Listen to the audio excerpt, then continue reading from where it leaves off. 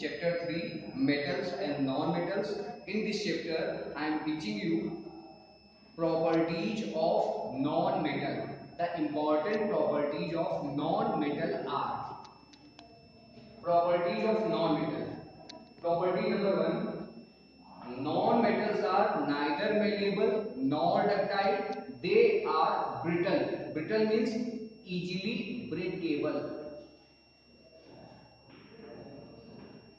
non-metals are neither malleable, neither malleable, nor ductile,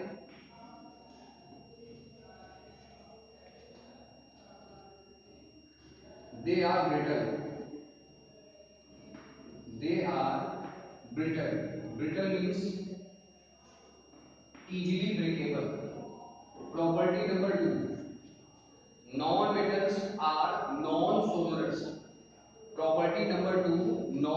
letters are non-sonorous. They are non-sonorous. Sonorous. They are non-sonorous. Property number three. Non-metals are non-lustrous. They they have dull appearance. They are non lustrous they are lustrous they have dull appearance they have dull appearance they have dull appearance after this property number four non metals है four five six seven valence electron property number four they have four five six seven valence electrons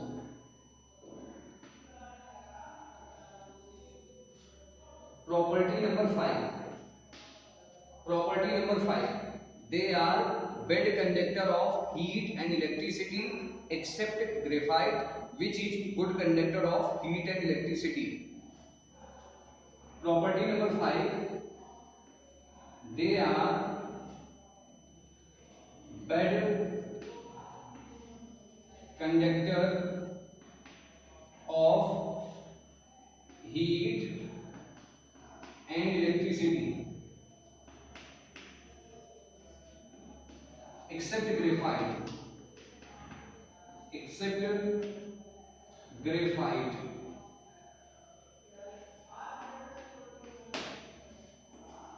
property number 6 property number 6 is a property number 6 property number 6 is non metals have low density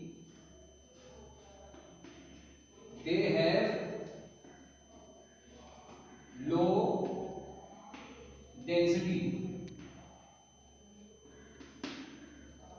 Property number 7. Property number 7 is physical state. Non-metals are found in solid, liquid and gaseous state. Example, carbon, sulfur, phosphorus are solid, bromine is liquid, hydrogen, nitrogen, oxygen are gases. they are found in solid liquid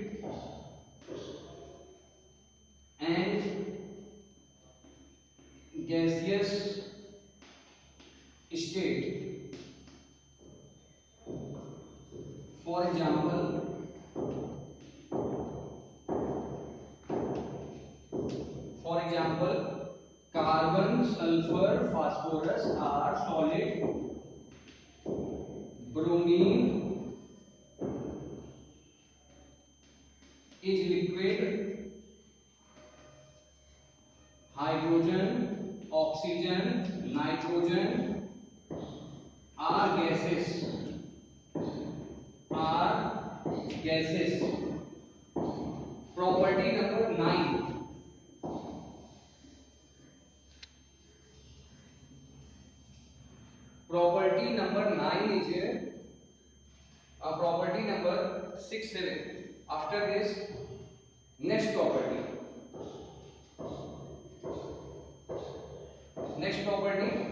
Non-metals are soft except diamond, which is hardest known substance. Next property is they are soft. They are soft. They are soft except diamond.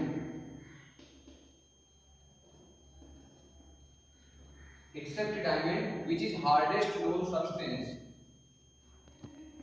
which is hardest known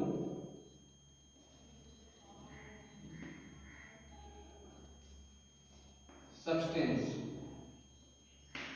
so students these are the important physical properties of non metal now i am telling you Properties of non-metal. Important chemical properties of non-metal are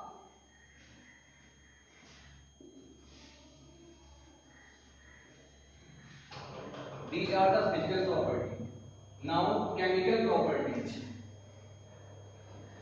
After physical property, I am telling you chemical property. Number one, reaction with oxygen. non-metal react with oxygen to form acidic oxide and neutral oxide. For example, carbon react with oxygen to form carbon dioxide. It is acidic oxide. It is acidic oxide. It dissolves in water one oxygen attached here we get H2CO3 to form carbonic acid carbonic acid so dear student reaction with oxygen non metal react with oxygen to form acetic oxide and neutral oxide carbon react with oxygen to form carbon dioxide which is acetic oxide which dissolve in water to form carbonic acid after this next non metal react with oxygen to form neutral oxide carbon monoxide carbon combined with oxygen to form neutral oxide carbon monoxide after this next reaction with reaction with water non metal do not react with water because it do not displace hydrogen from water Number three, reaction with number two, reaction with water. Number three, reaction with dilute acid. Non-metal do not react with dilute acid because it do not displace hydrogen from acid. After this, number four, reaction with hydrogen. Non-metal react with hydrogen to form covalent hydride. This is Non-metal sulfur reacts with hydrogen to form covalent hydride. After this, number 5, reaction with salt solution. Salt solution of non-metal. Non-metal. Reaction with salt solution of non-metal. a more reactive non-metal displaces less reactive non-metal from its salt solution to NaBr plus chlorine. बच्चों chlorine is more reactive so it displaces bromine and form 2NaCl plus bromine. Now property number 5. Property number 5 reaction with chlorine. non-metal react with chlorine to form covalent chloride. Property number five: reaction with chlorine. Property number five: reaction with chlorine. Non-metal react with chlorine to form covalent chloride. This is non-metal hydrogen react with chlorine Cl2 to form covalent chloride 2HCl. Okay, students. So this is property number six. These are the important chemical properties of non-metal. Okay, student. Prepare it for your exam.